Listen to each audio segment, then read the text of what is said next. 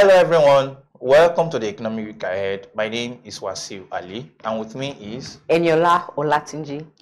Um, there are quite a number of interesting data to come your way Yeah, this week. this Um, week. First of all, the National Bureau of Statistics will be releasing its Company. the company income tax for the second quarter of 2024.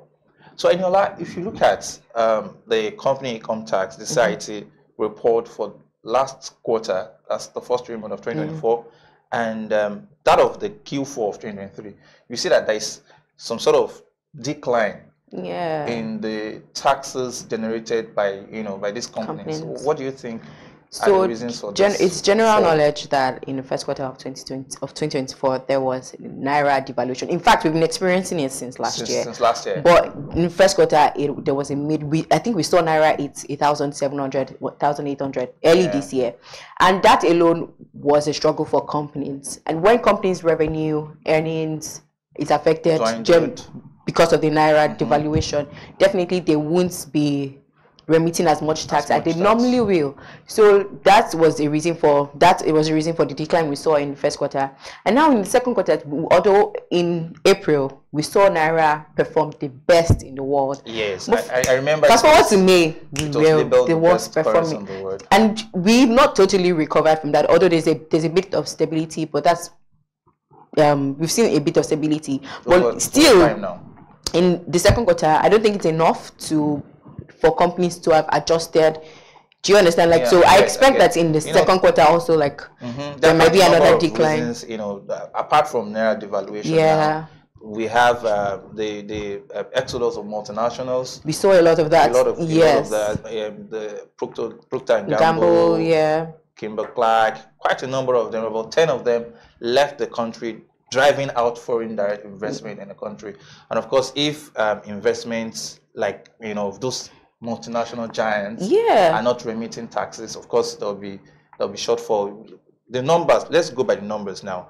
In the um, first quarter of 2020, 2024, the, um, the, the CIT, the NBS reported that CIT declined by 12.9% yes. to 986 billion naira, up from 1.13 trillion in the last quarter of 2023. and really it like those are things that we don't want to experience right now because the we, are, we the country is currently running on a budget deficit so if um this avenue for revenue generation for the company for the um, not- not country coming in. they are not coming in we are seeing a decline in it there will also be a, dir- a direct decline in re- um, budget revenue Of course. for the country so And like I think one, one thing that strikes me the most from that report is that the manufacturing sector, which obviously used to uh, contribute substantially to um, the aggregate CIT, saw a dip.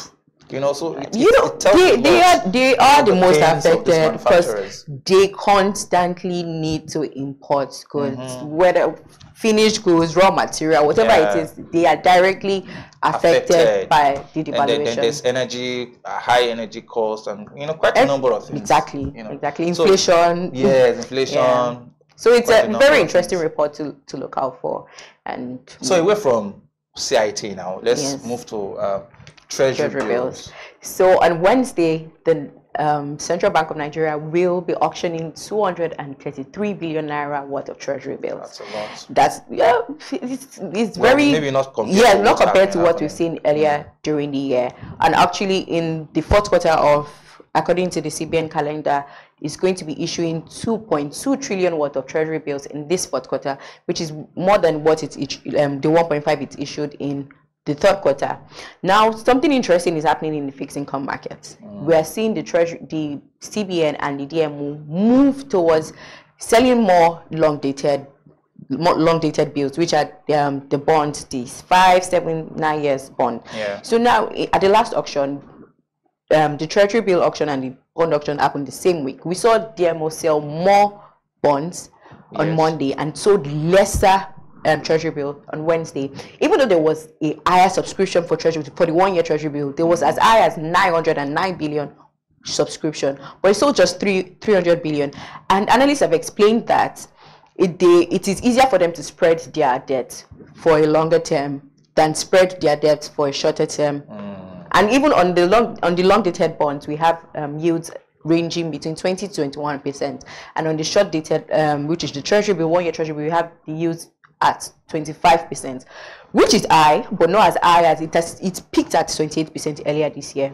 All right, so um, So we, sh- we are expecting that during this week auction again, Mm-hmm. because of the shift to long dated bonds, there would be the yields would decline this week.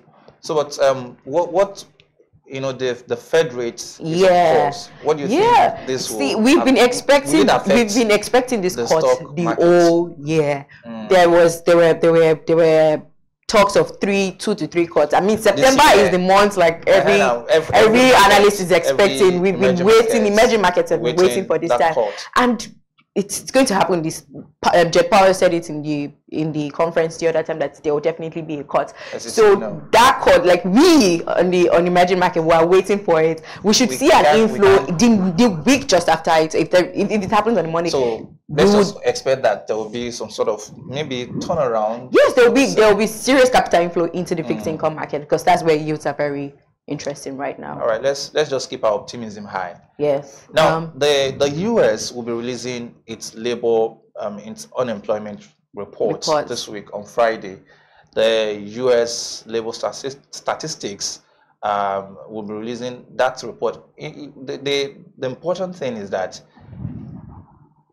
we've we're actually the, seeing the the US data. unemployment Yeah. rate has been ticking higher now. Yes, from 4.1 percent yes, yes. in um, in in in June, it moved to To- 4.3 percent. Yeah. In in you know from 4.1 percent percent in June. In June, Yeah. so it moved to 4.3% 4.3% in July. So the August report now, well, maybe there'll be some sort of so throughout the year, to be fair, there's been mixed mixed data from the US. yes, But one thing that is that is clear and is that that's at, at peace right now is inflation. Inflation has seen decline, Mm. and that has given the Fed some rest of mind. So a mixed signal would not change. Like a mixed a mixed signal in uh, I mean In in report. different reports Yeah. would not change its stance. And 4.3 percent is way lower than its 5. It's Six five nine percent, yes, percent. five point six Yeah, I nine think percent that's- that's the average, average. of where the unemployment rate normally is at. So I think it would still be it would it wouldn't change the Yes. Fed's decision much. the, the the decision, well, maybe He has read, he has stated it I, in I, I, speech. I read somewhere that um, the Fed might be, you know, cutting rates by 25 to 50 basis 50 points. basis points So, and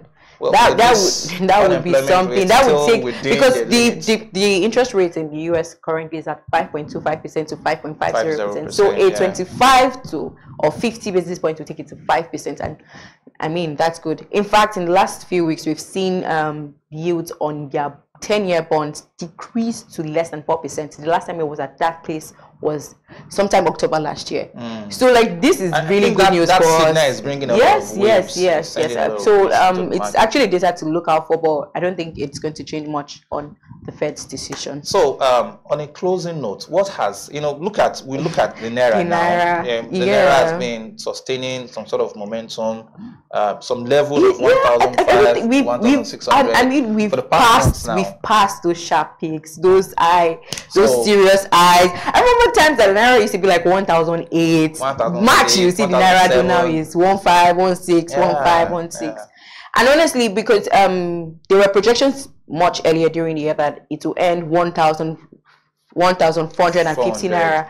I, when I even read somewhere that um, the projection is 1,500. 500 yes it's So looking it's looking like that, that now. range. but we should not forget that we are in a season of um, high demand for the dollar and that might be one of the Yeah, drivers of its current um, i mean um, much demand causes um, elevated price. So like the fact that there it now everybody's trying to go for summer yeah. trying to pay for school fees so it's one of the So there's things driving there's a high demand for dollar and we've also seen the cbn put in a lot of work to make the naira be uh, be where point. it is now. Yeah. Mm-hmm. In August this year, we saw a retail Dutch auction, which honestly, quite frankly, uh, didn't have the effect I would have ex- I expected. In fact, it, it didn't have the effect that the CBN itself had desired, you know, but uh, But you know, we that- can't tell because it might, it might have the naira might have been worse because it, it we're in a season of high demand. So imagine maybe that auction did not Didn't- did not happen. We might be seeing one thousand seven hundred yeah, right now, yeah. and we just we cannot tell. So it's better to continue to like do the work. And at So least I, I, I, I just hope that um, the monetary measures will just keep on coming so that Yeah, um, we can have inflation reigning and the and naira then the naira. To be fair, I mm. think many people, what people want, what businesses want right The now is stability, right? stability. I have people say that. Yes, you get business people. They don't If things are if the, the, stability. the exchange rate is stable, you can determine, you know, you can plan ahead. Exactly, like especially for companies to be able to. Well, that's what we want at, at a, as a country, anyways. All right, let's just Yeah. So let's then. yeah, let's continue So to that'll be it? that yes. So that'll be it for today, and we hope to see you same time next week. But for more details on our stories, you can visit our website at www.businessday.ng, and you can also visit our social media platforms at businessday.ng. My name remains Eniola Olatunji. And I am Wasiu Ali. See you again next week. Bye. Please read up on our website at www.businessday.ng.